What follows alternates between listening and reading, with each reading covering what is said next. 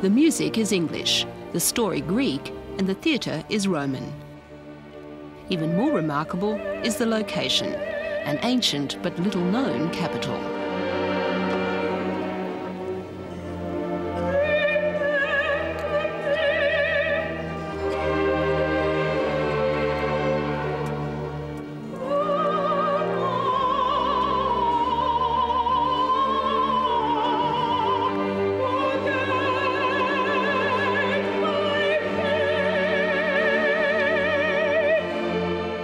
It's 300 years since Purcell wrote his opera Dido and Aeneas, and nearly 2,000 years since Bosra was the Roman capital of Arabia.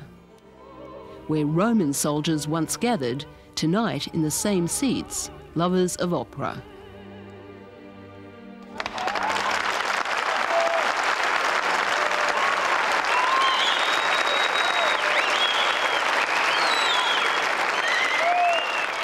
It's the first opera to be staged jointly by a cast and crew from England and Syria. And it's all about international diplomacy. Not long ago, Syria was the country best known to the West as a safe haven for terrorists.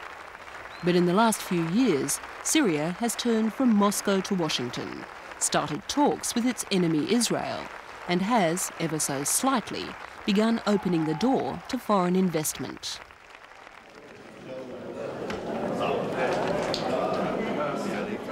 But even at the opera, it's impossible to forget that Syria is a one-man regime, held for more than 20 years in the iron grip of its president, Hafez al-Assad. We are uh, well aware that we have been blessed with a leadership that is uh, unique in the area. And we are sure that this leadership will get us to, to the shore of peace uh, uh, with the least uh, problems. Once it is there, I think we are ready for it. For centuries, Syria's stony desert was a highway. Once it was part of the old Silk Road. Even earlier, caravans from Mesopotamia passed through on their way to the Mediterranean. It was a trail from oasis to oasis, and its biggest way station was Palmyra.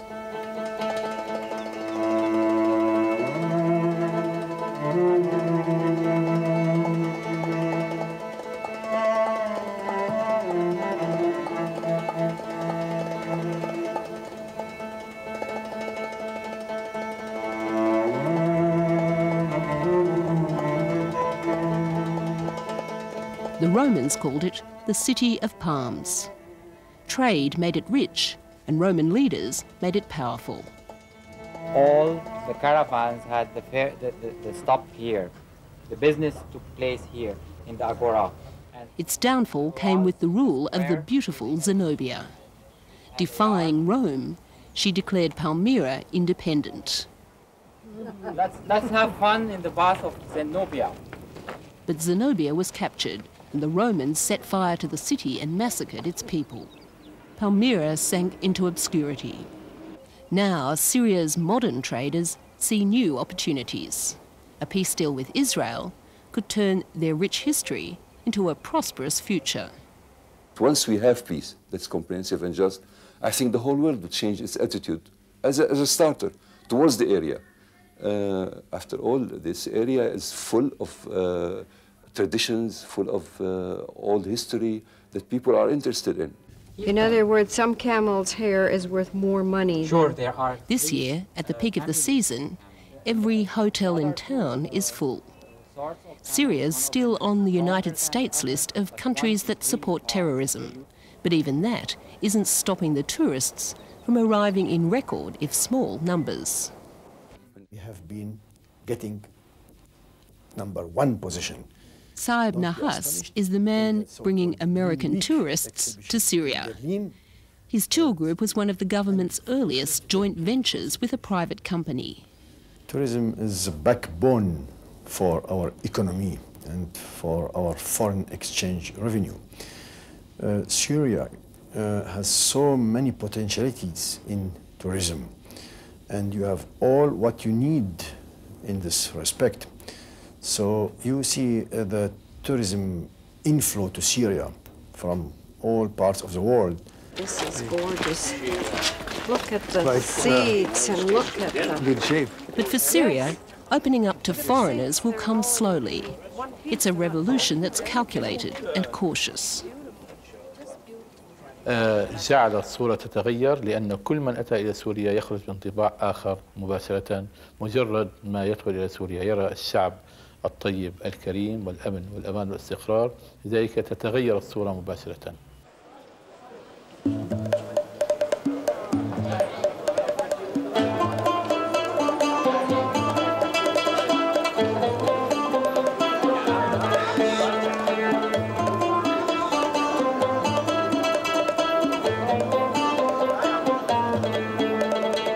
In Syria, change is slow and the past is powerful. Damascus claims to be the oldest continuously inhabited city in the world. A centre for Romans and Christians, Damascus expanded with the coming of Islam. Its mosques date back to the 7th century. Even today, its prayer callers are famous.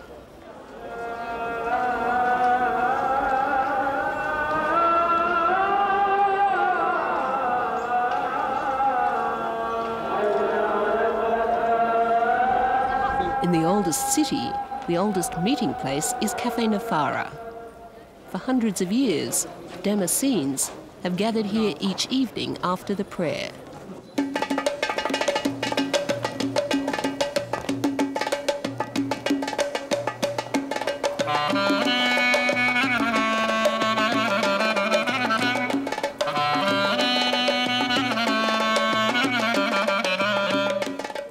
Long before radio and TV, there was coffee, water pipes, and storytelling.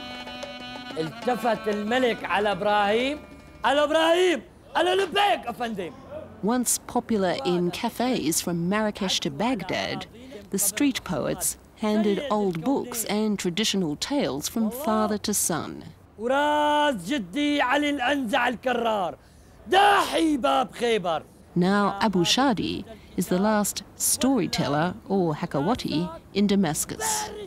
Every night, he draws an enthusiastic following, from university lecturers to labourers. قال له شو هذا الافرنج بيتعدوا على اراضينا قال له افندم هذول طماعين باراضينا وخيراتها It's the tale of a 13th century slave who fought the Crusaders and Moguls. Everyone knows the story. Whipping up the audience is part of the art. دحيت الراس قدامك ولخص رسومه من عاندك يا ملك لا اعدمه يومه عن ترك The slave defeats the invaders. Today, in the era of Middle East peace, a new kind of invader and their foreign currency are welcome. You may leave all things that you don't need in the bus, so jackets or things that you don't need for sure. By the year 2000, Syria hopes to earn more than $2 billion a year from tourism. But so far, Westerners are a minority. Would you please put the bag over this uh, cover, over this cloth that you are uh, putting on? Tighten the head cover quite well to cover the hair completely. Put on the sleeves and tie it up. After At the that. Umayyad Mosque, one of the Middle East's oldest and most beautiful, tourists, especially Americans, are still something of a novelty. Say, I I am am 13 13 years years old. old. It's nice to meet you. Until recently, Syria was almost totally isolated. An ally of Iran, it was seen in the West as a backer of Islamic fundamentalists and a sponsor of terrorism. The vision of ordinary Americans in the black robes of Islam was almost unthinkable. For Westerners, covering up like this will probably be one of the most memorable images of Syria, but it's only a part of the picture. This is a country that's incorporated the contradictions of socialism and Islam, is almost totally Muslim, and has yet remained relatively secular. It's been a successful but brutal balancing act. The government's only real political opposition came in the 1980s from the Muslim Brotherhood. The army crushed it almost immediately. So it isn't surprising that the government's first economic changes have also been the least political. When it came to loosening control, the government turned to a small group of businessmen it trusted, men like Saeb Nahas. And Syria, with her political stability since 1970, have generated economic stability, security stability, and social stability. And it is well known that these are the first important elements for the tourism industry. But caution, driven by fear of losing political power, has forced gross inefficiencies on business. In the Nahas Empire, this factory is a throwback to another era. When a cash shortage forced the government to surrender its monopoly over food production, it passed a special law allowing joint ventures in agriculture. But even with joint management, the result is outdated machinery, massive inefficiencies, and little growth. Syria doesn't have a stock exchange, and there's only one government bank. All investment still has to be funded from outside the country. Of course, it would have been much easier if the banks are here. Uh, I do hope that uh, this problem will be solved in a way or another. Syria's politicians may be talking tough about a peace deal with Israel, but the quieter reality is that Syria's businessmen are already preparing for new competition and new opportunities. Peace in general uh, is very good for all the countries concerned. And I'm sure that uh, everybody is to benefit. Uh, allocation of resources, the new trend towards more constructive business. And this is what everybody knows and everybody is very serious about. The 90s should be a new era, but so far, to most of Syria's 15 million people, economic liberalisation has brought little change. The old trading town of Palmyra could benefit from peace and more tourists. In the long term, increased trade and a smaller army could leave more money for roads and water, education and health.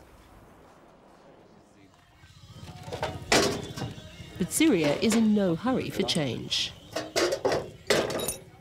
It's a place where even big businessmen weigh their words carefully, where economic reform won't necessarily mean political freedom.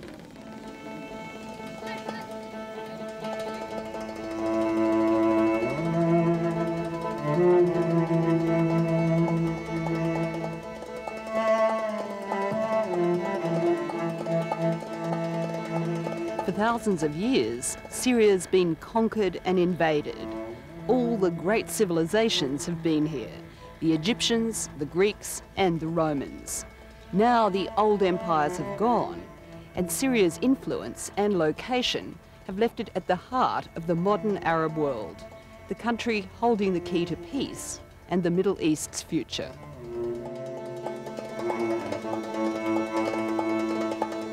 Syria is opening up, but slowly and cautiously, fearful that economic liberties will result in demands for political freedoms.